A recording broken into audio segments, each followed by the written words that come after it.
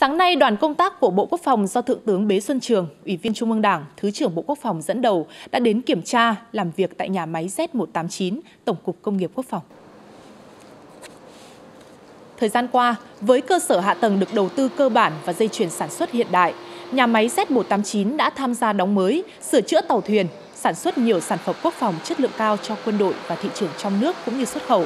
Sản phẩm mang thương hiệu Z189 được đánh giá có chất lượng tốt, hàm lượng công nghệ cao, phục vụ đắc lực cho các nhiệm vụ, đặc biệt là nhiệm vụ bảo vệ chủ quyền biển đảo.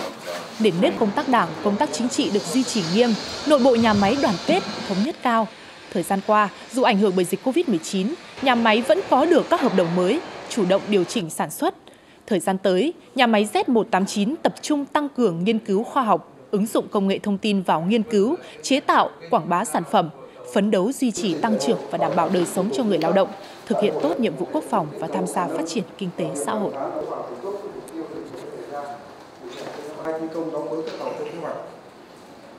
Ngoài do tình hình dịch bệnh COVID-19,